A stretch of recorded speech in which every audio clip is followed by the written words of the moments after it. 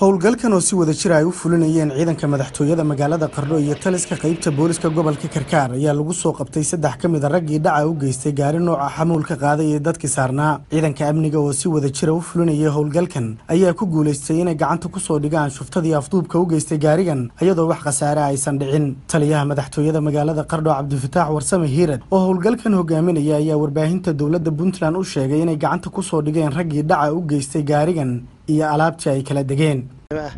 Tobankii dambe oo xalay ayaa shuftida halkaa fadfadhida gaarigaas shacabka oo taraaga haysta. Kantaroolka goortuu soo dhaafay iyo magaalada dhexdooda ku afduubeen. Markay la leexdeen isla markii formationka ciidamadii helay baanu ka mid ahayn. Istaambi buu ciidanku yahay habeen iyo maalin heegana wixii ka dhaca.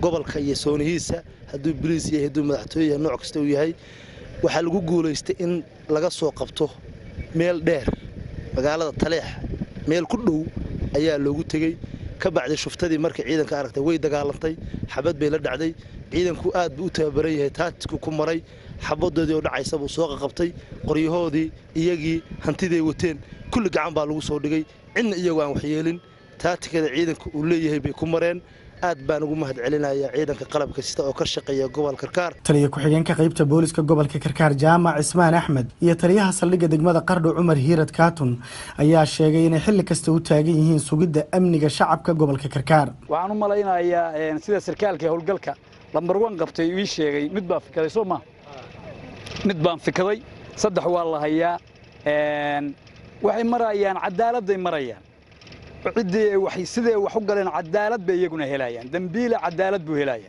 fikanna maayo. Waxaan ugu baaqayaa maamulka deriska nala ah oo uu ka yahay hantiilaha faysal cali waraabe mulkiga u leeyahay. Waxaan ugu baaqayaa waxay fasaxeen xuduud baanu leennahay waxay fasaxeen muqaadiraadkii soomaaliya oo dhan baa qaadadkii laga jooji. Xanuun baa jira dunida ka dhacay wixii soomaaliya ay madnuucdoba ayaga waxay u tahay inay caafimaad u tahay. Waa inkaar jirdhow weeye inaannu ugu tagno nimankaa iyo gaarigoodaba isha dameer aanu ka soo qabanno iyaga iyo togga gudihiisa ah inaannu ka soo qabanno. Baa alaabtii ay dadka ka dhaceen shacabka oo waddadaa marayey waa taa waa ujeeddaanin annagu waxaanu nahay adeegayaasha bulshada shacabka puntland baanu nahay gaar ahaan kuwa gobolka karkaar gaar ahaan kuwa degmada qaro qof kasta oo wadda istaaga oo dadka shacabkaa oo aan u shaqayno aan u adeegayno isku daya inuu dhibaato u geysto waxa ku dhacaysa dhibaatada nimankaa ku dhacday mid ka weyn baa ku dhacaysa. Darawalkii gaarigan waday ayaa si weyn ugu mahad celiyey ciidanka ammaanka gobolka waxaana uu sheegay inuu garab istaag ka helay xilli uu baahi badan u qabay. Wixii waa noo yimaadeen si wanaagsan bay noola shaqeeyeen. Alaabtii qalabkii waa noo keeneen nimankiina way dooneen.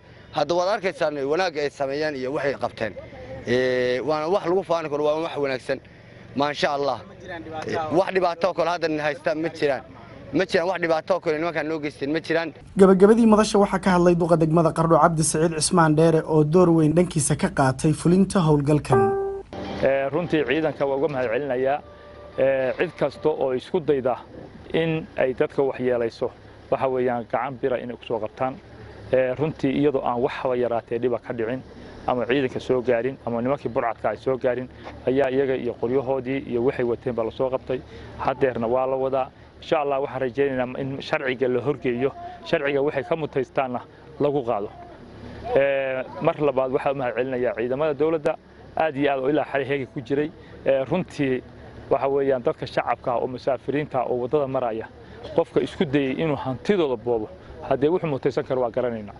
Waxaa leenahay cid kasta waxaa looga digayaa in ay soona qardho ciidamada degan ama gobolka kaar gabi ahaanba ciddii halkaa wax lagu yeelo inay heegan u yihiin meeshay galaana looga daba tegayo. Meel kasta tageena ciidanka ammaanka magaalada qardho ayaa xilli kasta diyaar iyo heegan ballaaran ugu jira sugidda amniga gobolka.